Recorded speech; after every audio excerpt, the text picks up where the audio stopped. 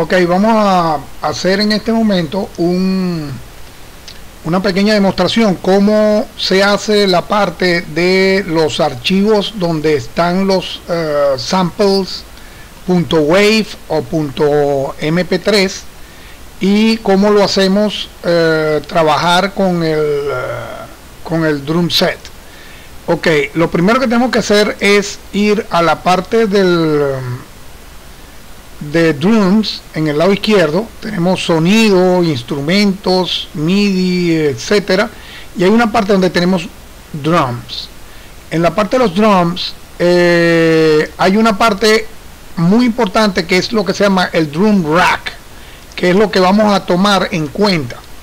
Eh, cuando vemos la parte del drum rack vemos que aparecen una cantidad de pad del lado izquierdo en lo que nosotros podemos asociar un archivo.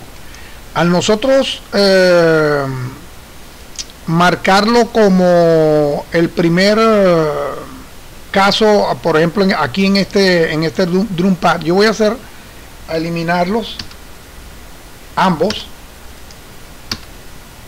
y vamos a asociarle un, un archivo a, a este a este pad ¿Cómo lo vamos a hacer? Eh, agarramos aquí un archivo desde donde tengamos el um, de donde tengamos el, el sample.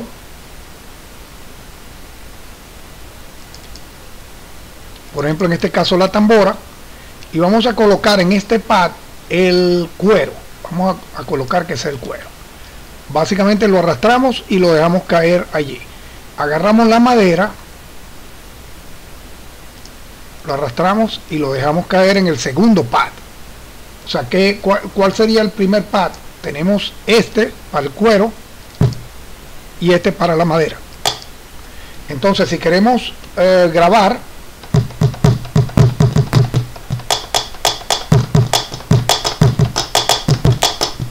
tendríamos allí los cueros y la madera. Igualmente vamos a hacer con todos los demás instrumentos que querramos hacer y vamos a tener este drum pack asociado desde nuestro file manager o el manejador de archivos de Windows en este caso y de el Ableton Live arrastrando hacemos drag and drop desde donde tengamos los samples hasta el pad que, que requiramos eh, que lo que uh, querramos que ese pad uh, quiera sonar como un furro o como una charrasca o como un cuero.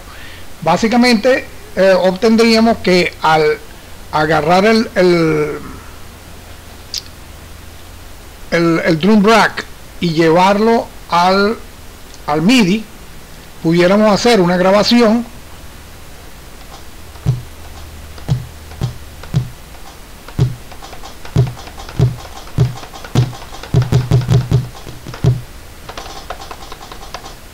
pudiéramos hacer la grabación y aquí va a quedar el, el track MIDI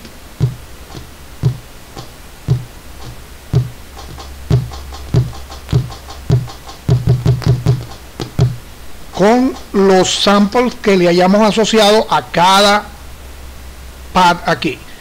Eh, vale la pena destacar que este nombre cuero es por el nombre del archivo que yo hice arrastré desde el uh, manejador de archivos hasta el cuero. Entonces creo que ha quedado claro cómo sería la utilización de los archivos samples para asociarlos en este caso al drum rack y del drum rack a la pista MIDI donde vamos a hacer la secuencia y comenzar la producción básicamente yo colocaría aquí una tambora, aquí pudiera colocar la charrasca, aquí el furro y así sucesivamente.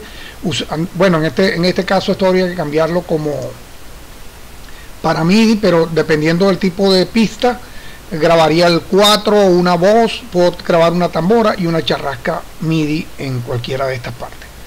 Entonces, en resumen, eh, tengamos pendiente de buscar en la parte de drums, buscamos el drum racks, él nos va a desplegar este pad aquí que va a corresponder al uso del controlador externo que tengamos. En este caso yo uso un Akai MPK en el cual tiene todos estos pads que son los que yo estoy tocando en este momento en mi instrumento, en el controlador Akai.